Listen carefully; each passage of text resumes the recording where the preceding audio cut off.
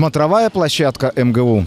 Вот уже несколько дней здесь идет сбор гуманитарной помощи для пострадавших от разрушительного наводнения в Крымске.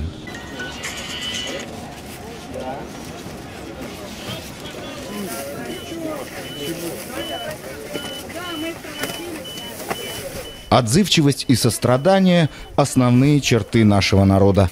И как бы ни культивировалось в обществе тотальное равнодушие, прикрываемое поговоркой «моя хата с краю», оно отвечает рефлекторной самоорганизацией и сплоченностью перед лицом общей беды, будь то стихия или преступная халатность чиновников. И пока последние лгут в собственное оправдание, люди несут одежду и обувь, постельное белье и бензопилы в помощь пострадавшим от наводнения в Крымске.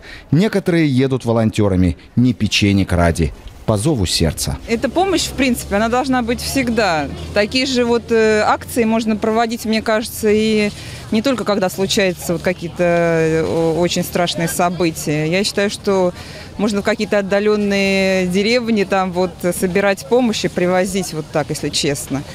А сейчас просто, ну, народ взбудоражен, э, всех потрясло, поэтому так отзывчиво. То есть вы предлагаете сделать такие акции будничными? Мне кажется, что да, неплохо бы было. Вы решили поехать волонтером? Да. А почему? Ну, потому что я неравнодушна, и невозможно просто так смотреть, когда там у людей горе, и многие остались без крова, и хочется хоть как-то, хоть чем-то им помочь. Ребят, просто организуйте нормально. Информации ноль, никто ничего не знает, организации ноль. Я не имею в виду волонтеров, я имею в виду, не знаю, кто, МЧС, наверное, должен этим заниматься, еще кто-то.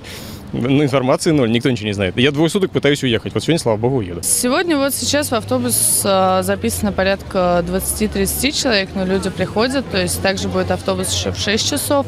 Э, в принципе, автобусы вмещают вот оба около 100 человек, то есть мы думаем около этого числа.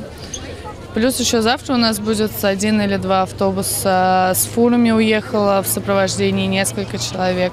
То есть, ну, порядка вот сотни человек сегодня. Когда государство вместо решения реальных проблем лишь занимается обелением самого себя, гражданское общество объединяется вокруг страшной беды.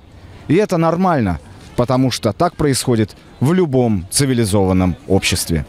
Саша Сотник, Дмитрий Мелехин. Телеканал «Политвестник», особая буква.